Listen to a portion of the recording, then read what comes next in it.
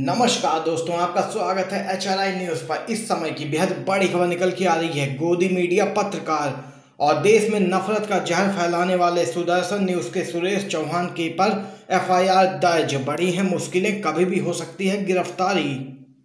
राजस्थान के जयपुर स्थित ट्रांसपोर्ट नगर थाने में अंबाल किले से हाल में कथित रूप से भगवा झंडा हटाने के विवाद में मीना समुदाय की भावनाओं को आहत करने के सिलसिले में एक समाचार चैनल के प्रधान संपादक के खिलाफ मामला दर्ज किया गया है।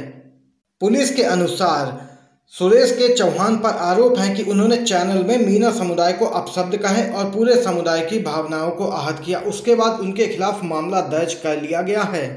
देख सकते हैं दोस्तों, सुदर्शन न्यूज़ के प्रधान संपादक सुरेश चौहान के जो देश में नफरत का माहौल बनाता है समाज में घृणा फैलाता है और गोदी मीडिया पत्रकार है। उसकी मुश्किलें बढ़ चुकी हैं। राजस्थान में एफआईआर दर्ज कर ली गई है। पुलिस ने भी बता दिया है कि जल्द ही आगे की कार्रवाई करके सुरेश चौहान के की गिरफ्तारी की जाएगी। पुलिस ने बताया कि प्राथमिकी, भारतीय दंड संहिता तथा सूचना प्रौद्योगिकी कानून की संबंधित धाराओं और अनुसूचित जाति जनजाति कानून के तहत दर्ज की गई हैं। दोस्तों, अगर आप लोग भी सुदर्शन न्यूज़ के गोदी मीडिया पत्रकार सुरेश चौहान के पर एफआईआर का समर्थन करते हैं तो वीडियो को लाइक करके, चैनल को सब्सक्राइब करके अपना समर्थन भी दर्ज करवाइए। आप सभी दोस्तों का वीडियो देखने के लिए बहुत बहुत धन्यवाद।